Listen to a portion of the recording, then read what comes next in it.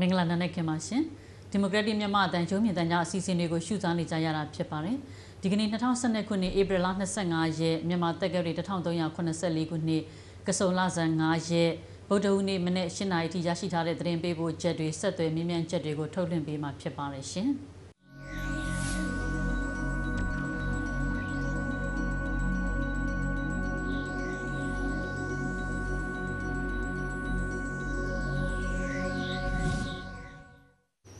မြမပထမအဦးဆုံးရုပ်တံလွှင့်ဥပဒေဒီနှစ်အကုန်ပိုင်းလောက်မှာ trap ပေါ်လာဖို့ရှိတယ်လို့သိရပါတယ်။ရုပ်တံလွှင့်ဥပဒေရေးဆွဲရေးဆိုင်ရာအလုပ်ယုံဆွေးနွေးပွဲကို နေပြည်တော်မှာဧပြီလ23ရက်နေ့ကကျင်းပခဲ့ပြီးအစိုးရပြန်ကြားရေးဌာနအရာရှိတွေစာနယ်ဇင်းသမားတွေနဲ့ International Media Sport IMS အဖွဲ့ကကိုယ်စားလှယ်တွေတက်ရောက်ဆွေးနွေးခဲ့ပါတယ်။ လောလောဆယ်ရုပ်တံလွှင့်ဥပဒေမူကြမ်းကိုရေးဆွဲနေပြီးလက်ရှိအခြေအနေနဲ့ကိုက်ညီတဲ့ဥပဒေမျိုးဖြစ်နိုင်ကြောင်းမြမအတန်နဲ့ရုပ်မြင့်တန်ကြားဌာနဒုတိယညွှန်ကြားရေးမှူးချုပ်ဦးတင်ဝမ်းကပြောပြခဲ့ပါတယ်ရှင်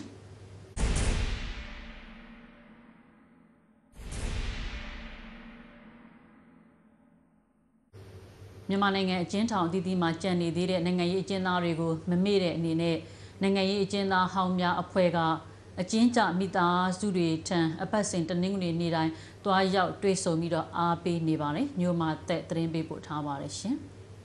နိုင်ငံရေးကျင်းသားဟောင်းများဥဆောင်ပြုလုပ်တဲ့နိုင်ငံရေးကျင်းသားများအားလုံးချွန်းချက်မရှိလွတ်မြောက်ရေးလှုပ်ရှားမှုကိုပြည်စမအကြိမ်မြောက်ဖြစ်ဆက်လက်ပြုလုပ်ခဲ့ပါတယ်။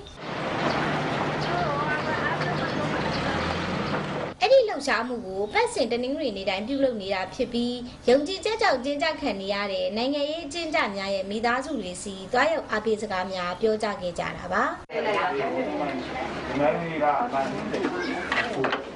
ကြည်ချက်ကြောင့်ကျင်းကြခံနေရတဲ့နိုင်ငံရေးအကျဉ်းချများဖြစ်တဲ့ထောင်ဒဏ်9နှစ်ကြာခံနေရတဲ့ကိုရဲထက်စုအင်းစိန်ထောင်ထောင်ဒဏ်17နှစ်ကျော်ကြာခံနေရတဲ့ကိုမင်းအောင်နဲ့ထောင်ဒဏ်28နှစ်ကြာခံနေရတဲ့ကိုစောစောအောင်ရမဲသိထောင်တို့ရဲ့မိသားစုဝင်တွေစီတွားရောက်အားပေးစကားများပြောကြားခဲ့ကြတာပါအခုတစ်ပတ်မှာတော့ဗဟန်းမြို့နယ်မယန်းကုန်းမြို့နယ်နဲ့ရွှေပြည်သာမြို့နယ်တွေကိုတွားရောက်ခဲ့ကြပါတယ်ဟုတ်တော့ထုတ်ပဲ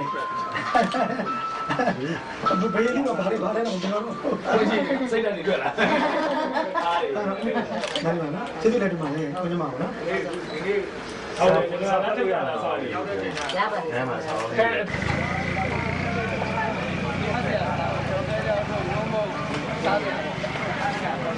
သူယုံကြည်နေတဲ့ယုံကြည်ချက်အဲ့ဒီအတွက်အာမန်ဖြစ်စေရဟုတ်ကဲ့ဟုတ်ကဲ့အဲ့ဒီရည်ချင်းနဲ့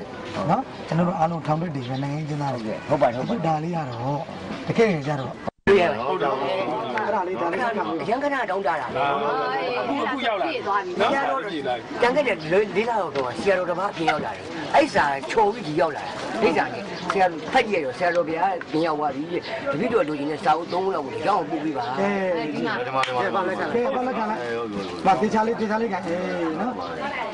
အကျေးဇူးတင်ပါတယ်နော်နောက်တစ်ခုကဒါကျေးဇူးတင်ပါတယ်ဒါတော့အဖကလက်ညောင်းဝင်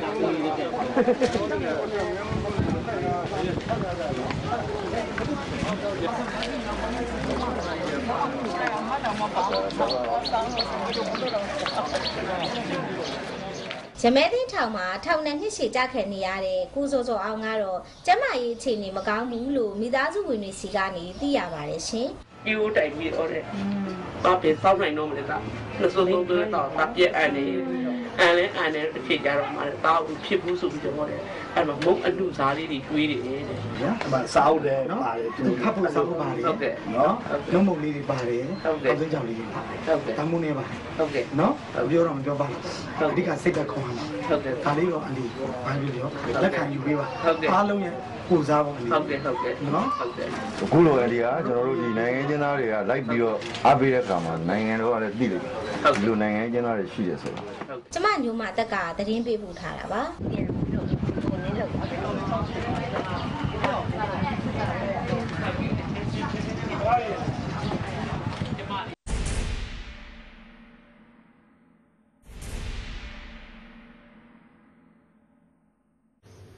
အမေရိကန်ပြည်ထောင်စုမှာတွားရောက်ပညာသင်ကြားနိုင်မဲ့ Hubert Humphrey နဲ့ Fulbright ပညာသင်ဆုတွေနဲ့ပတ်သက်ပြီးရန်ကုန်မြို့တော်ဝင်လမ်းမှာရှိတဲ့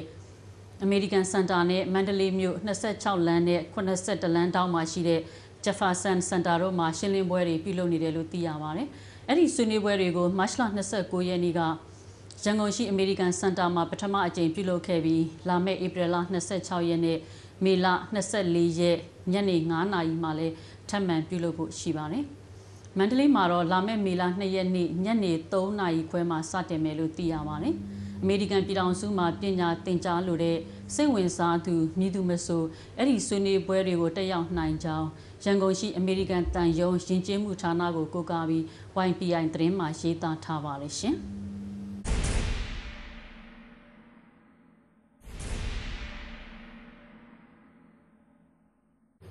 အခုလ24ရက်နေ့ကမန္တလေးမြို့ Oriental House မှာမန္တလေးတိုင်းအမျိုးသားဒီမိုကရေစီအဖွဲ့ချုပ်ကဦးစီးပြီးတော့ပြည်သူလူထုကိုဂုဏ်ပြုတဲ့ပွဲတစ်ခုပြုလုပ်ခဲ့ပါတယ်။နေရီရှိသတင်းပေးပို့ထားပါတယ်ရှင်။1990နှစ်ကပြောကြားခဲ့ကြတာကျွန်တော်ဒီလိုခွင့်ယူမရခဲ့ပါဘူးအခု2010မှာကျေးဇူးတင်တာဒီလိုတော့ကိုယ်တည်းများရဲ့ကိုစား ပြောခွင့်ရတဲ့အတွက်ကိုယ်ယူဝမ်းသာပြီးဖြစ်ရပါတယ်အခုလ24ရက်နေ့ကမန္တလေးတိုင်းအမျိုးသားဒီမိုကရေစီဖွဲ့ချုပ်ကဥဆောင်ကျင်းပတဲ့ဂုဏ်ပြုပွဲမှာပြောခဲ့တာပါ။ဒါပြည့်ရေကောက်ပွဲအောင်နိုင်ရေးမှာအားပေးကူညီခဲ့ကြတဲ့ပြည်သူတွေကိုဂုဏ်ပြုတဲ့အနေနဲ့မန္တလေးတိုင်းအမျိုးသားဒီမိုကရေစီဖွဲ့ချုပ်ကဒီခမ်းနားကိုကျင်းပခဲ့တာဖြစ်ပါတယ်။ဒီကဒီလူများရဲ့အားပေးမှုနဲ့ကျွန်တော်တို့ဆက်သုံးနှစ်တိုင်တိုင်အထူးဆောင်ခံတော်ရဲ့ဒီကနေ့ဘယ်လိုပြောလဲလက်မပေါင်းနိုင်တာဒီကနေ့ကျွန်တော်တို့ပါရောက်လာကြတယ်ကျွန်တော်တို့လူကြီးလူပါများကျွန်တော်တို့နဲ့နာမည်ပူဇော်တဲ့လုံငန်းမှုဖြစ်ကြတဲ့ကျွန်တော်တို့ပါတီရဲ့ပုံရိနာအားလုံးရဲ့ကျေးဇူးတော်ကျွန်တော်တို့ဒီကနေ့ မမမမဒီလူတွေရဲ့တာဝန်တွေလက်ကို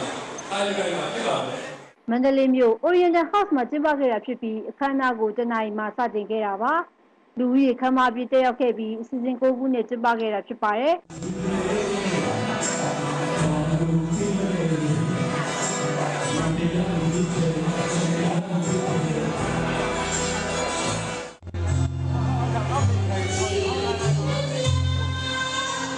တ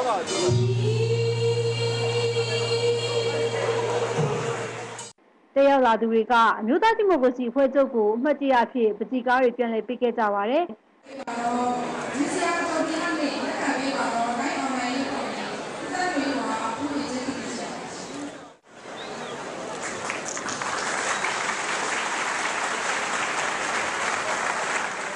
အခုလ23ရက်နေ့ကလည်းမဟာအောင်မြေနောက်မြို့နယ်မြို့သားဒီမိုကရေစီအဖွဲ့ချုပ်ရုံးမှာအခုလိုကွန်ပျူတာတစ်ခုပြုလုပ်ခဲ့ပါသေးတယ်။ကျွန်မနေကသတင်းပေးပို့ထားတာပါရှင်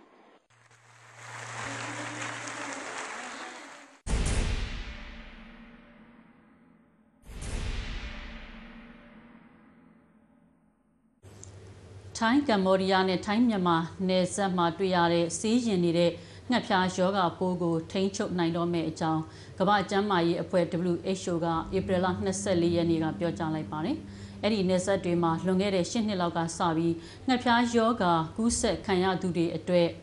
ပေးနေကြအာတီမစ်စင်နင်ဆေးနဲ့ကုသခဲ့ပေမဲ့ဆေးမတိုးတာမျိုးဖြစ်ခဲ့တယ်လို့စေဝါပညာရှင်တွေကပြောပါတယ်။ဒါပေမဲ့အခုတော့အာတီမစ်စင်နင်နဲ့အတူတခြားမိတ်ဖက်ဆေးတွေကိုပါ တွဲပြီးတော့တိုက်တဲ့အခါအရင်ထက်ရက်အနှဲငယ်ပိုကြတာကလွဲရင်အဖျားတက်တာပျောက်ကင်းသွားကြောင်း WHO အဖွဲ့ကကျွမ်းကျင်ပညာရှင် Pascal Ringwald ကိုကိုးကားပြီးတော့ AFP သတင်းမှာရေးသားထားပါတယ်ရှင်။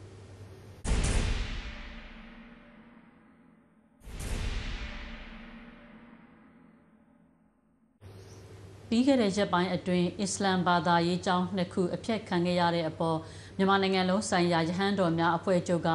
ဧပြီလ20ရက်နေ့မှာကြေညာချက်ထုတ်ပြန်လိုက်ပါတယ်။ခွန်ဘာသာသတင်းပေးပို့ထားပါတယ်ရှင်။အစ္စလမ်ဘာသာရေးကျောင်းတွေဆက်တိုက်အဖျက်ခံခဲ့ရတဲ့အပေါ်လူမျိုးရေးအုံကြွမှုဖြစ်အောင်ဖန်တီးတာဖြစ်တယ်လို့တန်ဃာတော်တွေရဲ့ကြေညာချက်မှာဖော်ပြထားပါတယ်။အထက်ပါအကြောင်းအရာပါကိစ္စနဲ့ပတ်သက်၍မြန်မာနိုင်ငံတွင်သတင်းသုံးနေထိုင်တော်မူကြသောဆရာတော်များ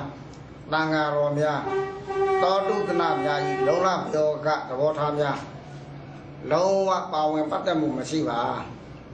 ငြိမ်းချမ်းမှုမဟုတ်သူပူအောင်ကြမှုသာဖြစ်သည်ကျွန်တော်တို့ရဟန်းတော်တန်ဃာတော်များကမနစ်သက်လက်ခံနိုင်ခြင်းမရှိပါဥပဒေချိုးဖောက်မှုဖြစ်ခြင်းကြောင့်သဘောမတူကန့်ကွက်ကြောင်းပရိသတ်လေးများလေးပါးတို့အားအတိပေးခြင်းညာချက်ထုတ်ပြန်လိုက်ပါပြီမြန်မာနိုင်ငံလုံးဆိုင်ရာရဟန်းတော်များအဖွဲ့ချုပ် ကျွန်တော်အရှင်ပန္တော်သဥက္ကရဆရာတော်ကိုယ်တိုင်လက်မှတ်ရေးထိုး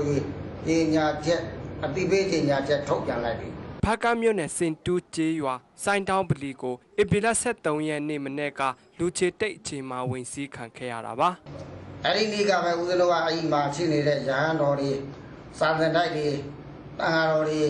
ကျောင်းနဲ့ဆရာတော်တွေကိုလှမ်းပြီးတော့အတိပေးထားပြပါပြီမပါဝင်ဖို့ပေါ့နော်ဦးဇင်းတို့ထဲမှာလည်း အသက်သိက္ခာ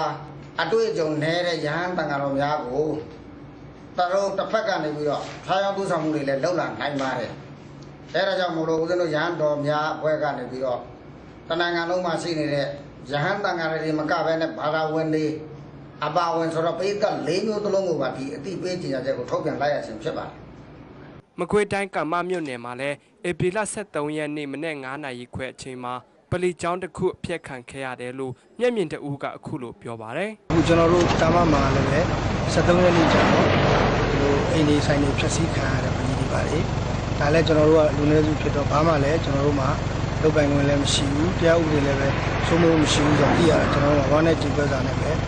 ကြည်နေရပါတယ်ကျွန်တော်တို့ကတော့ဒီကြားထဲမှာ14ရက်နေ့မှာမေစုကနေပြီးတော့ကြေညာချက်ထုတ်လိုက်တဲ့ပုံမှာကျွန်တော်တို့တော်တော်လေးဟိုဝမ်းသာ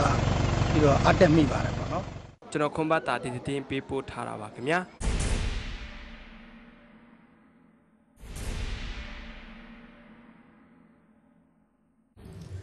မွန်ပြည်နယ်သတင်းတွေကိုအဓိကထားဖော်ပြမဲ့တန်လွင် Time Channel ကိုလာမယ့်မေလ9ရက်နေ့ကစပြီးထုတ်ဝေတော့မယ့်အကြောင်းအဲ့ဒီ Channel Editor အဖွဲ့ဝင်ဦးမင်းမင်းတွေကိုကိုးကားပြီးတော့ YPI သတင်းမှာရေးထားပါတယ်။အဲ့ဒီ Channel ကိုလစဉ်ထုတ်ဝေမှာဖြစ်ပြီးတော့ အခုလ25ရက်နေ့မော်လမြိုင်မြို့မှာ Channel ထုတ်ဝေမှုနဲ့ပတ်သက်ပြီးသတင်းစာရှင်းလင်းပွဲလုပ်မယ်လို့ဦးမင်းမင်းတွေကပြောပါတယ်။တန်လွင် Time Channel ထုတ်ဝေခွင့်ရရှိဖို့ပြီးခဲ့တဲ့ဇန်နဝါရီလကတည်းကစီစဉ်ဆောင်ရွက်ခဲ့တာလို့လည်းသိရပါတယ်ရှင်။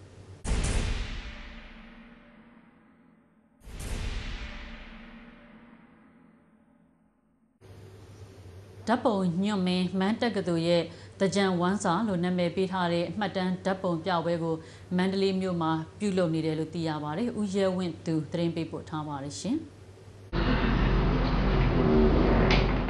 တကြံဝမ်းစာဓာတ်ပုံပြပွဲကိုဧပြီလ24ရက်နေ့မှာမန္တလေးမြို့34လမ်းလမ်း80နဲ့82လမ်းကြားကရာပြည့်စာအုပ်ဆိုင်အမှတ်2မှာဖွင့်လှစ်ပြသနေတာပါ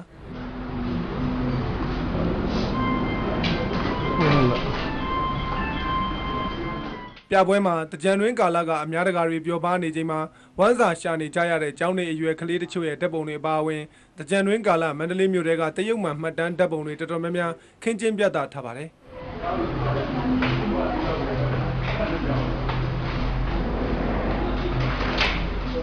ဓာတ်ပုံညုံမင်းမန်းတက္ကသိုလ်ကခေတ်စနစ်ကိုထင်ဟပ်တဲ့မှတ်တမ်းဓာတ်ပုံတွေရိုက်ကြဖို့တိုက်တွန်းထားတဲ့သူ့ရဲ့ရင်တွင်းစကားကိုလည်းအခုလိုချိတ်ဆွဲပြသထားတာတွေ့ရပါတယ်ပြပြန်သွားပြီလားပြန်သွားဖုံးဆက်ပါ နော်ဒီမင်းရောတော့အဓိကတော့ဒီပြင်နိုင်အောင်လို့ပြင်နိုင်အောင်ဆိုတာကနားလေးမျိုးဆိုရလဲ ပါတယ်လို့ကားကန်ရှင်တဲ့ကိုယ်တိုင်လည်းပါတယ်အစိုးရကိုဒီပြစ်ပုံချနေတယ်မရဘူးအဲ့တော့ပြောချင်တာကအစိုးရလည်းပြင်ဖို့လိုအပ်တယ်လို့ဒီ public ကလည်းပြင်ဖို့ public ပြင်ဖို့ဆိုတာလေဒီ public ကိုအတိပေးနိုင်တဲ့လူတွေကလည်းပြင်ပေးဖို့လိုအပ်တယ်အဲ့တော့အားလုံးမှာတောင်းဝန်ရှိတယ်တဦးတယောက်တည်းမှာတောင်းဝန်ရှိတာမဟုတ်ဘူးအားလုံးမှာတောင်းဝန်ရှိတယ်အဲ့တော့ဒီလူတွေဒီလူတွေကဒါလေးတွေကိုပြင်ပေးကြရင်ကောင်းတယ်အဲ့ဒီ message ကိုပေးခြင်းတယ်တော့ဒါအပြင်ဓာတ်ပုံဆရာတွေကိုလည်းခေတ်စနစ်ကိုထင်ဟပ်စေမဲ့တရုတ်မှမှတ်တမ်းဓာတ်ပုံတွေများများပြစေခြင်းတယ်လို့လည်းသူ့ရဲ့ဆန္ဒကိုပြောပြခဲ့ပါသေးတယ်သူပြဝဲလုပ်မယ်လို့တော့ကျွန်တော်သူ့ကိုပြောဖို့ပြပါတယ်ခင်ဗျာကြည့်ချင်တာကြီးရတယ်ခင်ဗျာပြောဝဲပြောဝဲမတိုင်ရင်လည်းဆိုတော့ကျွန်တော်သူ့ကိုပြောပြတယ်အခုလာကြည့်တဲ့အခါလဲရှင်းရပါတယ်ဒီလို model ပုံတွေ pictorial တွေ landscape တွေပို့ဖဲတဲ့ documentary show ကလွန်ရှားပါတယ်ကျွန်တော်ထင်တယ်ဗမာတပ်ပုံပြပွဲသမိုင်းမှာဒီဟာမှတ်တမ်းတစ်ခုဖြစ်ဖို့ကောင်းတယ်ကျွန်တော်ပြောချင်ပါတယ်တကြံဝမ်းစာဓာတ်ပုံပြပွဲဖွင့်ပွဲကိုမန္တလေးမြို့ကစာနယ်ဇင်းသမားတွေဓာတ်ပုံဆရာတွေအပါအဝင်စိတ်ဝင်စားသူတွေတော်တော်များများတက်ရောက်ကြည့်ရှုအားပေးခဲ့ကြပါတယ်ခင်ဗျာကျွန်တော်ရဲဝင်းသူပါ